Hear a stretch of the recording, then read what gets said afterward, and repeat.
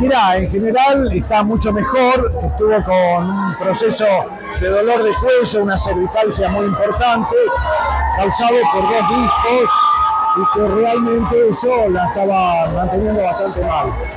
Se le está haciendo un tratamiento con ozonoterapia, que son pequeñas inyecciones el doctor se refirió a la ex participante de reality argentino. La producción exclusive me dijo que haga todo lo posible para que pueda priorizar la salud de ella. Y así se hizo. La habíamos atendido, había mejorado y a partir de eso intentamos hacer un movimiento que volvió a recrudecer a unos dolores que son muy fuertes. De hecho, los bailarines y bailarines tienen muchísimos problemas de columna y en ella recrudeció algunos de otros temas que tenía señaló.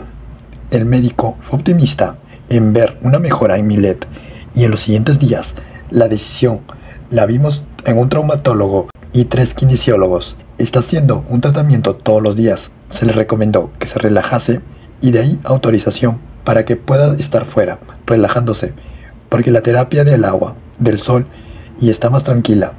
Le vino muy bien. Estimó en los próximos días va a mejorar.